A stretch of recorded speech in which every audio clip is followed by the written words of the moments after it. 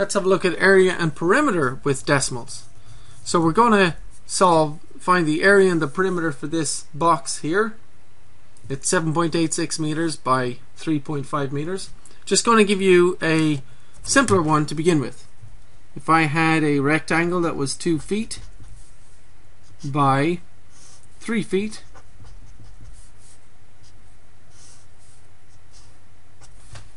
could you tell me the area of that? Okay? The area. Let's find the area by breaking this 2 foot into two 1 foot blocks two one foot uh, spaces and the three feet will break that up as well. Okay? We'll draw a line across here. See that? A line down here and a line down here.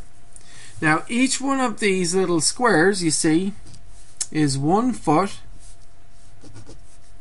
wide and one foot long isn't it I'm, I'm just I know it's a little bit bigger but each one of these is one foot square okay how many and, and by the way this is one foot square or one square foot, which is, which by the way is written as one ft with a little square on top, which is is is one square foot.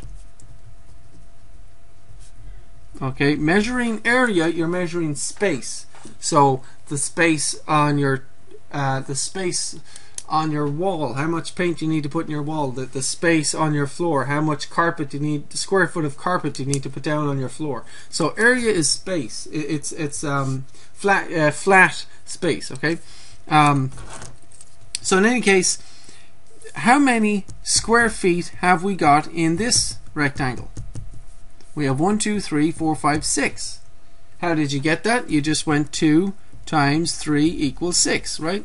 So this answer is 6, but it's it's in fact 6 square feet. 6 ft squared, right?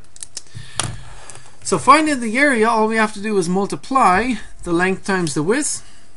So to find the area here, we just go 7.86 meters times 3.5 and we just multiply, right? So can you multiply that and get the answer? See if you can press pause and do that yourself, then I'll do it.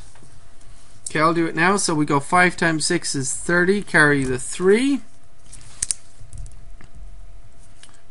Uh, 5 times 8 is 40, and 3 is 43, carry the 4. And 5 times 7 is 35, and 4 is 39. Put down a placeholder 0 and multiply by 3. Okay.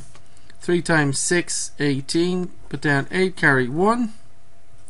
3 times 8, 24. And 125 Carry 2.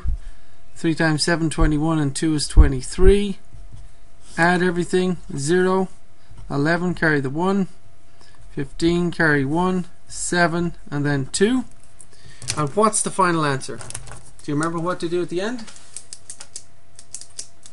when you have to count the amount of the decimal places that we have in the question to figure out how many we need in the answer. Now we have one, two decimal places here, and then one more here. That's one, two, three. So we need three in the answer. One, two, three. See that? So the answer is 27.51. Okay? So the area is 27.51 and because we're measuring in meters, this little m means meters, the answer is in square meters, meter or meters squared, which is m with a little square up here. 27.51 meters squared. Okay? Now finding the perimeter finding the perimeter, let's go back to our original rectangle. We have 2 times 3, okay? What's the perimeter of that? I'll just I'll just do it down here again. It's got two feet here and three feet here.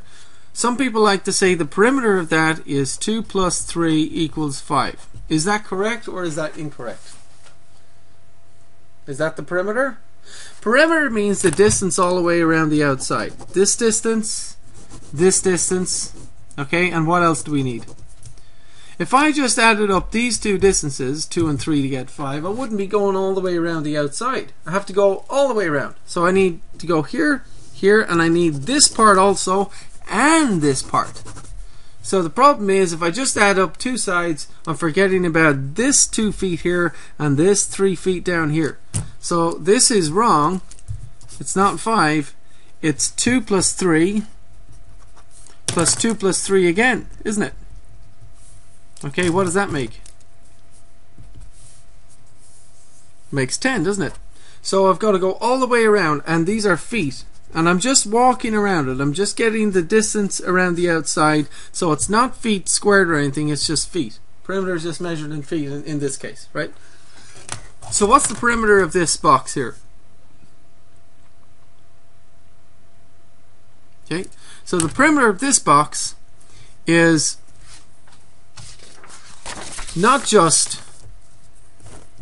3.5 plus 7.86 it's 3.5 plus 7.86 but don't forget we have another 3.5 meters here and another 7.86 meters here. So we have to measure add up all of these four numbers okay? So the total perimeter for this guy is 7.86 added twice right and then 3.5 added twice. Now if we're adding, if we're adding, what do we do with the decimal points? They must be underneath each other. See that? Does that make sense? And if you want, you can put in a placeholder 0 for the 3.5 because we're adding. Okay? Now, if I add these up, 6 and 6 is 12, put down 2, carry the 1. 5 and 5 is 10 and 1 is 11 and 8 is 19 and 8 is 27 and carry 2 2 and 3 is 5 and 3 is 8 and 7 15 and 7 22 right? And this time because we're adding the decimal points are all lined up and the decimal point in the answer just goes there which is different from multiplying. When we multiplied we had to count the amount of decimal uh, places in the question and put that into the answer. Remember that? But here, with adding, the decimal points just stay underneath each other. So the answer is 22.72 or 22.72. And again, perimeter is just the distance around the outside. Okay? So it's just measured in meters. 22.72 meters, right?